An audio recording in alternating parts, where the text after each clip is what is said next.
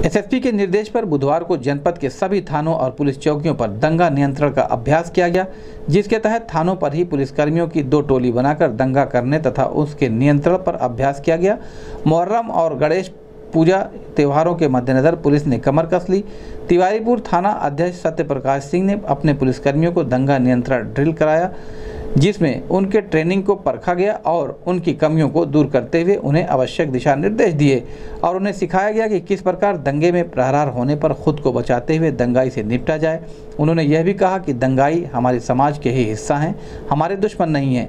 बस बहके हुए लोग हैं, उन्हें ऐसे ही तरीके से प्रहरार करना है कि उनकी जान को कोई खतरा ना हो, बस उनको कंट्रोल कर लिया जाए। इसी के तहत महिला थाना पर महिला पुलिसकर्मियों ने भी दंगा नियंत्रण कर मार्क ड्रिल किया। इस संबंध में गोरखपुर न्यूज़ से बात करते हुए S, SP city doctor Kaustubh ने कहा।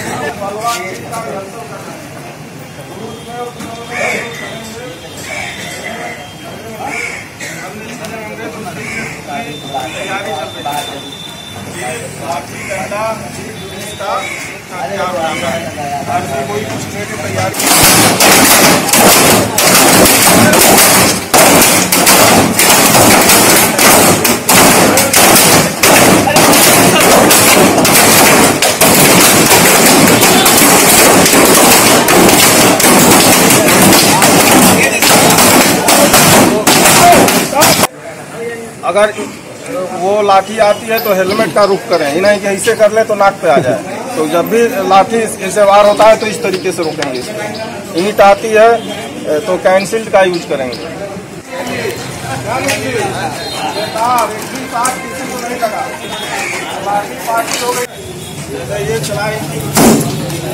ये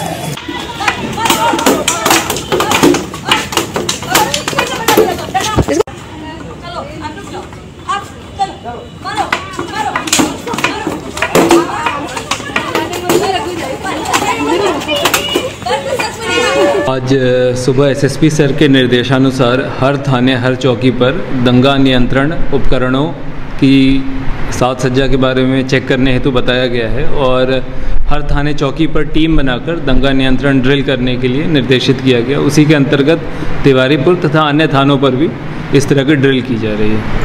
सर, क्या इस